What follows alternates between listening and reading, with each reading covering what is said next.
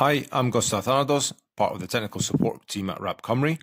We're back again at Tarmac's filling and sealing plant to check on progress on our supply chain project funded by the Welsh Government to increase the amount of recycled plastic in Tarmac's aggregate bags. We've been catching up with Tarmac's procurement manager and our lead partner, Resilient Sustainable Solutions, to see how the project is progressing and what has been achieved so far. Hi, I'm Mark Griffiths. I'm the procurement manager for packaging for Tarmac. I'm here today doing some trials with Wrap on, on some recycled packaging. As a company, Tarmac are always looking to increase the recycled content of their packaging and, um, and increase our sustainability footprint as much as possible. And we're really looking forward to seeing the results of these trials in a few weeks' time.